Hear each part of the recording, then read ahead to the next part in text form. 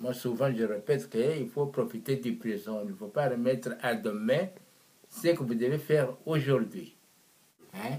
Oh nitenza malheur nitenza malheur non. Demain c'est le jour du Seigneur. Vous ne savez pas ce qui va se passer. Il y a des autres qui meurent la nuit. C'est comme euh, comme un type euh, de la Bible qui disait oh moi j'ai beaucoup de choses comme ça, je vais, je vais faire le, le mayeba. Hmm? Je vais économiser pour mettre un peu dans les choses comme ça. Je vais panier ça, je vais panier ça, je vais construire mes, mes maisonnettes pour mettre un peu mes, mes, mes, économies. Il ne savait pas. Alors la nuit, Dieu l'a pris. Koteka teka. Maweje mwene kukosolo la. Hmm?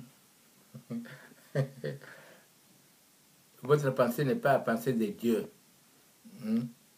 C'est la pensée de Dieu, n'est pas la vôtre. Alors comme ça, il faut profiter du présent. Voilà ma réponse.